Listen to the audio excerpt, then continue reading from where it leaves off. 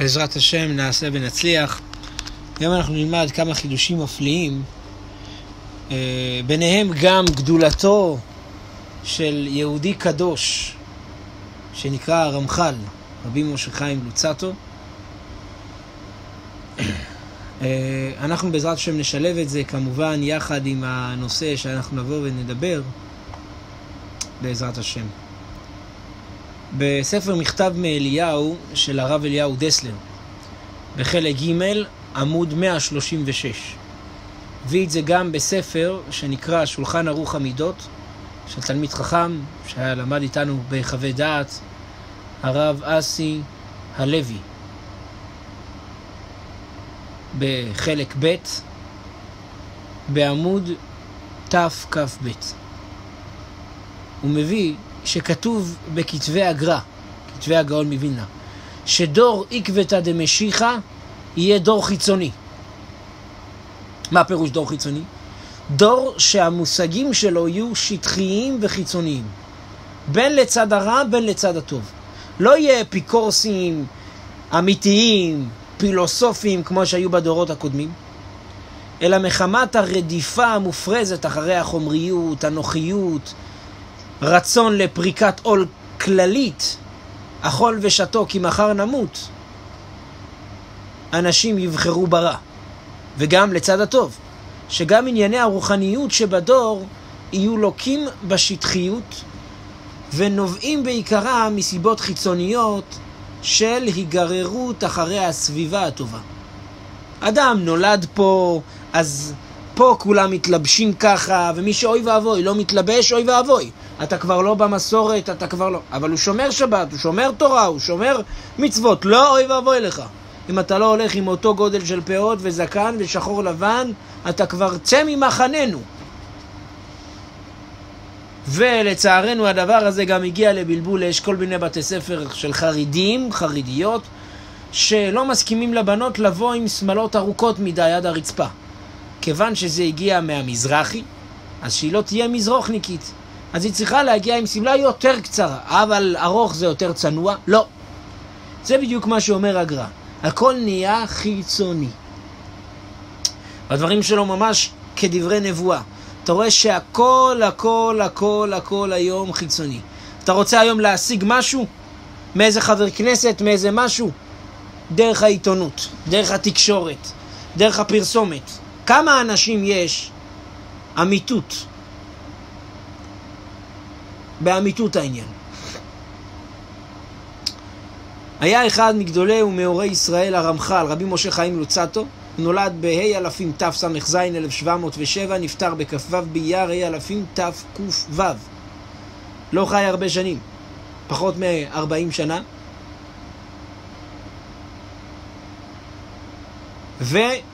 והוא היה גאון אדיר.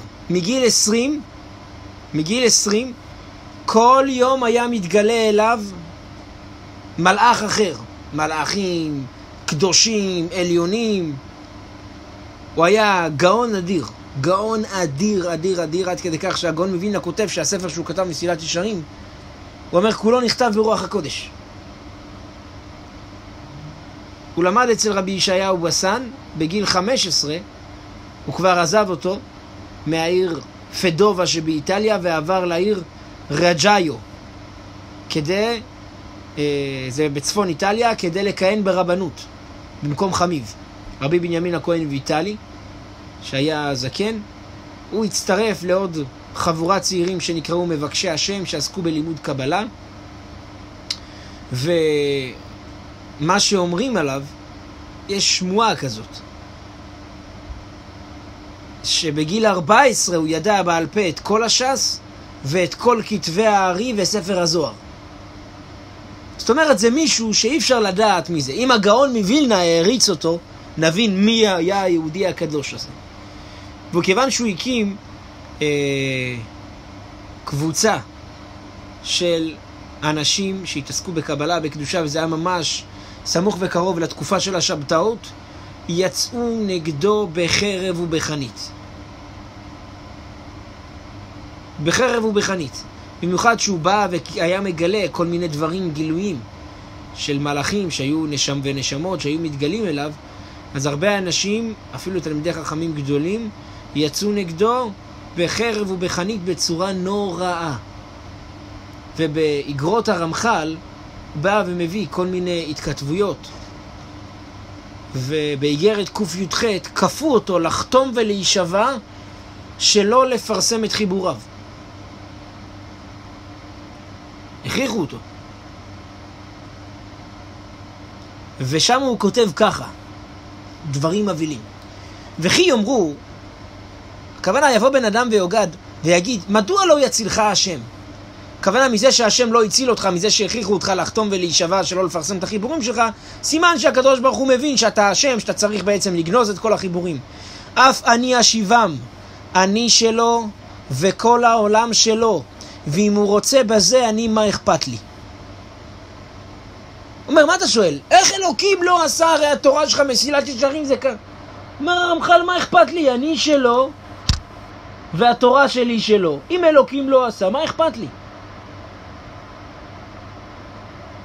באיגרת קמ"ו הוא מביא תשובה שהרב שלו, רבי ישעיה בסן, שואל אותו, למה אתה לא עונה לכל העלילות שמעלילים עליך? הרי המתנגדים שלו באו ואמרו שמצאו בכתביו השבעות לשטן. שהוא מתחבר עם שדים ומזיקים והוא ממשיך את שבתי צבי. אז הרב שלו אומר לו, תכתוב, תגלה, למה אתה שותק? ואז הוא כותב, תסתכל איזה, איזה, איזה איגרת קדושה. ככה עונה הרמח"ל לרבו בזה הלשון. האותי יוכיח במוסר אשר שתקתי ואחריש? האם אתה, כבוד הרב וו, אתה רוצה להוכיח אותי על זה שאני שתקתי על המריבה הזאת, ואשר לא בחרב אצא לקראתם? כמדומה לי שלא עשיתי דבר יפה מזה מימיי. אשר הנחתי למתרכזים להתאשש בקנאתם, הכוונה תתבוססו בקנאה שלכם, ויהי אשם ללבבם וזיקות בערו לחטאת נפשותם. אכן הדרת כבוד תורתו יודיעני מאז. כי זה הדרך אלך בה, להיות מנענע ראשי לכל גל וגל, וכל אשר ידברו עלי אנשי רשע, לא חשובו בעיניי אפילו כקליפת השום, ולא נופל ליבי עליו כאילו לא היה. אומר, לא אכפת לי, ואפילו שזה היה תלמידי חכמים, חכמי ונציה יצאו עליו. הוא כותב, אני כבר הייתי מניח לוונציאנים להיקרא בחמתם ולעשות רשעת ליבם. מה לי בכל פחזותם?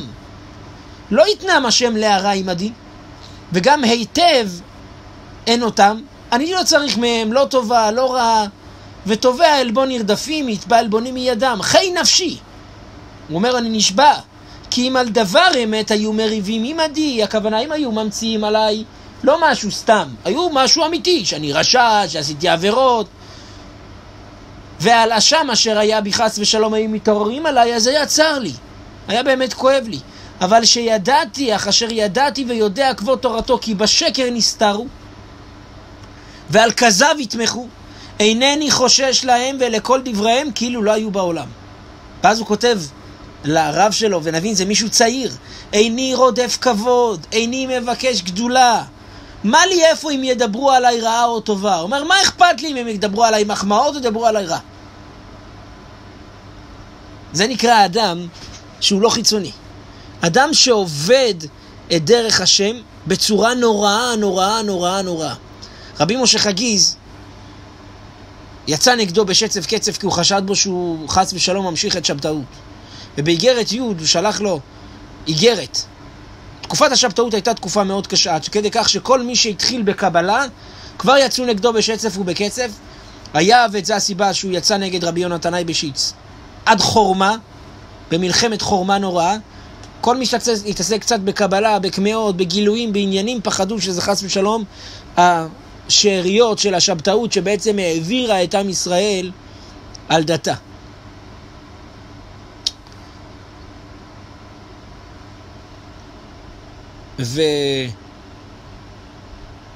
ושם הוא בא וכותב על, על זה ש... מהר"ם חגיז כותב על זה, ש... על מישהו שכתב, הרב גורדון, שכתב איגרת בעד הרמח"ל, אז הוא כתב מילים חריפות. והרמח"ל עונה לו באיגרת י' בי בא השם נשבעתי היום. אשר אם אמר עליי מאשר אמר אלף פעמים, לא צר לי ולא חרה לי. הוא כותב לו, אפילו אם אתה, אמר אני נשבע בקדוש ברוך הוא, אפילו אם היית יוצא נגדי פי אלף ממה שיצאת עליי, לא כועס לי. רק אשר ידבר על החברים, אומר, אתה מדבר על כל התלמידים, כל אלה שבאים ללמוד תורה. כולם קדושים עובדי השם בכל. בכל כוחם, והם החכמים מחוכמים. והוא קרא להם חברה רעה. איך, איך, איך קראת להם חברה רעה בלי ידיעת מעשיהם? וזו פליאה נשגבה לא אוכל לה. אומר, אני רק מתפלא עליך. וזה אחרי שהוא כתב עליו מרורות. ואומר, אני לא מצטער, והוא נשבע בשם השם. והוא כותב באיגרת קמ"ו, וכל אשר ידברו עליי אנשי רשע, לא חשובו בעיניי אפילו כקליפת השום, ולא נופל ליבי עליי כאילו לא היה. כל הדברים הללו לא מבהילים את הנפש, כמו הקטע הבא שאני הולך לקרוא, בכתבי הרמח"ל איגרת קל"ה. הרב שלו, רבי ישעיה בסן, הוא שמר אצלו 40 ספרים בכתבי יד של הרמח"ל. הוא כתב, וכיוון שהוא עבר למקום, אז הוא אמר לרב שלו, אם אפשר להשאיר אצלך את כתבי יד, תעבור על זה, תראה מה. והוא שם אצלו בפיקדון. הגיעו המתנגדים של הרמח"ל, אמרו לרבי ישעיה בסן, תיתן לנו את כל הכתבי יד של הרמח"ל, רוצים לשרוף את זה. את כל ה-40 ספרים. אין עוד העתק. זה לא כמו היום אתה עושה קופי פייסט. אין, אין, אין, אין, אין, אין, אין. והרב שלו כמובן לא נתן. אז הם החליטו לבוא ולצייר את הרב שלו. דפיקות בדלת, צרחות, הפגנות, עניינים, מציקים לו. כשהוא שמע את זה, הרמח"ל, הוא ישר שלח לרב שלו איגרת. המברכים את כבודו יבורכו, והמקללים אותי, את הרמח"ל, אם טועים הם וכוונתם לשמיים. אומר, יש כאלה גם שיוצאים נגדי, יוצאים נגד התורה, נגד הרמח"ל, נגד כל קדושתו, אבל הם מתכוונים לשם שמיים. אז חס ושלום, קללתם לא תבוא עליהם וחטאם יכופר. אבל אם רוח קנאה או גאווה מנהלם, חרבם תבוא בליבם וקללותיהם על ראשם תשובנה, ועל קודקודם חמסם ירד ושלום על ישראל. מה הוא אומר? הוא מנסה לדון אותם לכף זכות. והוא מסיים את המכתב, והנה כבוד תורתו אינו צריך לעצתי, כך הוא כותב לרב שלו. ואומנם אם בשל תיבת הספרים, הכוונה בשביל הקופסה של הספרים שהבאתי לך, עם 40 ספרים של הרמח"ל, בכתב יד יחיד, כל הסער הגדול הזה שהם באים ומציקים לרב, יצווה כבוד תורתו ויקחה אצלו וישרפנה לעיניו. זאת אומרת, תיקח את כל הכתבים, תשרוף אותם. שרוף אותם, למה מציקים לך? בגלל הכתבים שלי.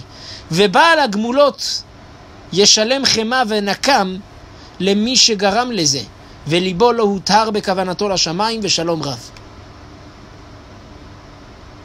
בסוף הם הצליחו לקחת את הספרים, ובאמת, 40 ספרים של הרמח"ל נעלמו מעל פני האדמה. מי שלומד מסילת ישרים מבין מה זה, מבין למה השטן עשה את זה. אתה לומד מסילת ישרים, אתה מרגיש איך הנשמה שלך מתחילה להתנקות, להתנקות, להתנקות מהלכלוך, מהלכלוך, מהלכלוך. עוד דבר ועוד עניין, כמובן, לא כל אחד מתאים לו ספר מסילת ישרים. יש אחד שצריך לראות סרט על גיהנום, זה מה שינקה לו. יש אחד שצריך לראות הגיהנום באמיתי. כל אחד לפי הבומבות שלו, אבל אדם שיש לו קצת טהרה, בא וקורא מסילת ישרים, מתחיל להרגיש את האור. וזה היהודי הקדוש הזה, הרמח"ל, אומר, תשרוף את הספרים, מה הבעיה? מה הבעיה? מה הבעיה? בגלל זה הם מציקים לך. ולצערנו, אנחנו חיים בדור מאוד מאוד שטחי. והדור השטחי הזה, הוא הופך מיום ליום יותר ויותר שטחי, עד כדי כך שכשהיום אני בא, ולפעמים אני מעלה ללייבים כל מיני אנשים שרחוקים מתורה ומצוות, יש לך שאלה על התורה? לא. למה אתה לא שומר שבת? כי לא בא לי. זהו, לא מתאים לי. אם אני אוכיח לך, לא, עזוב, אל תוכיח לי, אין הוכחות, אין כלום, אין זה.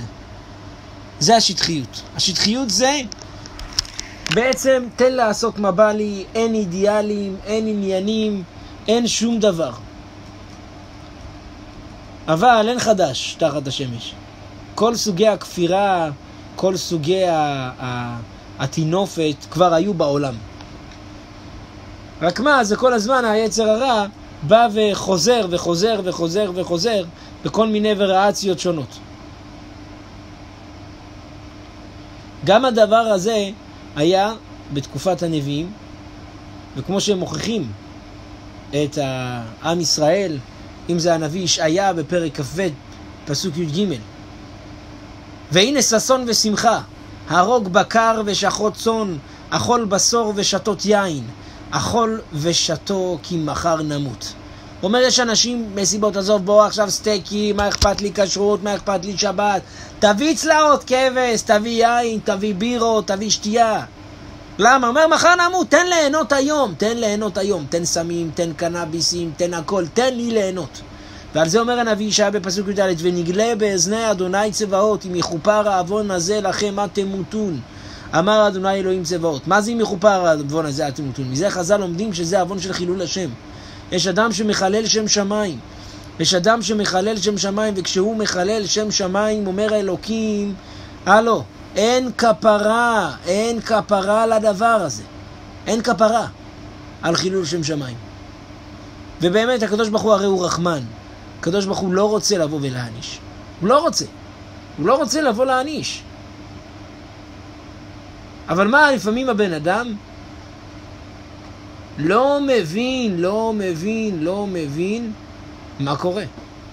הוא לא מבין, באים מוכיחים אותו, אומרים לו, תשמור שבת, תעשה דברים, שום דבר. אומר הנביא עמוס בפרק ה', פסוק י', שנאו בשער מוכיח, ודובר תמים יתעבו. אומר שאנשים, אתה רק מתחיל לדבר איתו, אתה לא בסדר, תחזור בתשובה. שונא אותך, מתעב אותך, מה הוא עשה לך? מה, מה, מה הוא עשה לך? מה הוא עשה לך? מה, הוא סך הכל מנסה להציל אותך מגיהנום? הוא סך הכל בא ומנסה לבוא ולהעיר לך את הנשמה?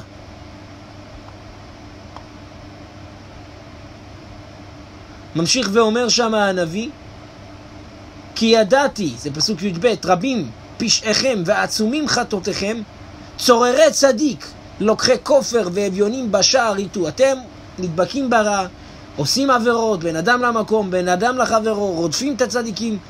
לכן המשכיל בעת ההיא ידום, כי עת רעי.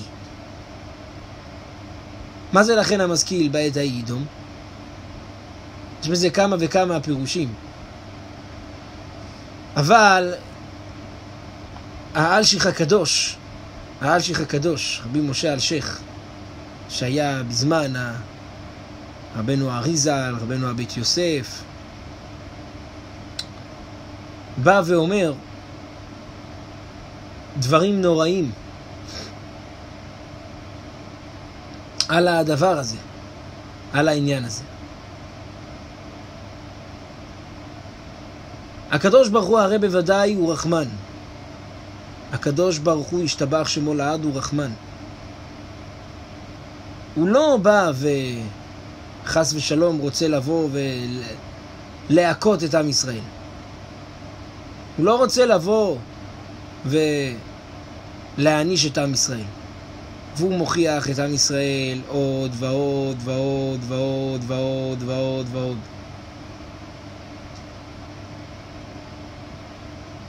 אבל בשעה שהוא שולח את המוכיחים, והמוכיחים עצמם רודפים אותם, אז הוא אומר, רגע, רגע, אם את המוכיחים עצמם אתם רודפים, אז אין סיכוי שאתם תחזרו בתשובה.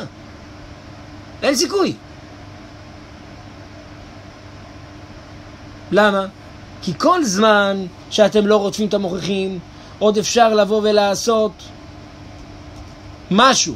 אולי בסוף תגיד, קשה לי, בסדר, קשה לך, שמור שבת, תתחיל, תבוא, תעשה, אולי באיזושהי דרך, אולי משהו, משהו, כן, משהו בסוף כן.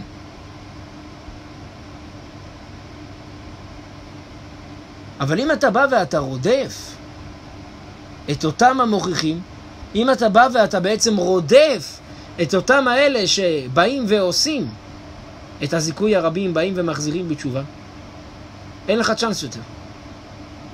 אין לך, אין לך צ'אנס. נגמר.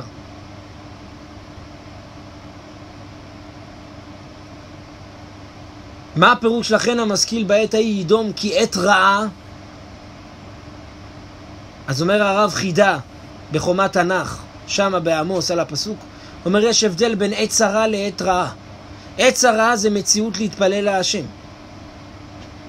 אבל עת רעה, נגמר. עת צרה היא ליעקב וממנה יבשע, אבל עת רעה זה עת שהסטרא אחרא שולטת. נגמר. ובאמת במדרש כתוב שהקדוש ברוך הוא אחרי שהחריב, במדרש איכה, אחרי שהחריב את בית המקדש, הוא בא ואמר, מה עשיתי לביתי, מה עשיתי לעם ישראל? ואז הקדוש ברוך הוא בא ואמר, רגע, כמה הוכחתי אותם? כמה הוכחתי אותם? כמה באתי וניסיתי שעם ישראל יבואו ויתעוררו? כמה ניסיתי? שלחתי להם את ירמיהו, שלחתי להם את הכל. הם גרמו רעה לעצמם, הם גרמו, מה אני אעשה?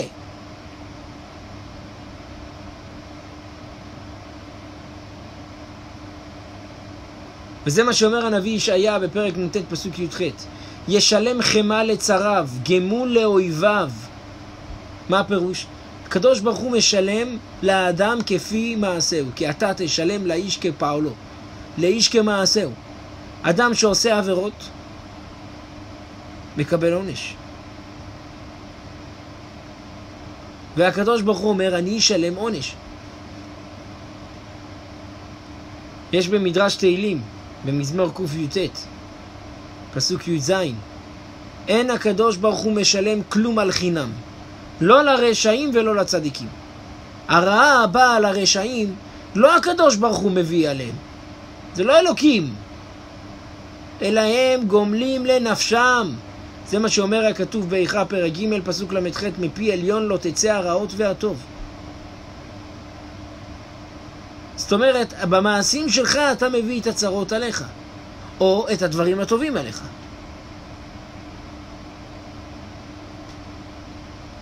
הרעיון הזה בעצם, שההיסטוריה כל הזמן חוזרת על עצמה, והשטחיות הזאת והרדידות הזאת כל כך כואבת, כל כך כואבת. כי כל זמן שיש לנו את הרדידות הזאת, כל זמן שיש את הבורות הזאת, בא אנשים ועוד מחווים דעה על מה? על תורה, על מצוות, שהם בכלל לא יודעים מה זה. לא יודעים מה זה. והכל מגיע מהתאווה הזאת. היום אנשים מדברים רק מהבטן שלהם. אנשים מדברים ממה מהתענוגות שלהם, מהטומאה שלהם. איך אתה מחווה דעה על ספר התנ"ך לפני שלמדת תנ"ך? איך? ולכן לפעמים יכול להגיע חס ושלום עת רעה. ועל העת רעה הזאת אומר הנביא, לכן המשכיל בעת ההיא יידום כי עת רעה היא. בזמן הזה צריך לשתוק. בזמן הזה צריך לבוא ואין מה לעשות. אנחנו מתפללים שחס ושלום לא נבוא לזמן הזה.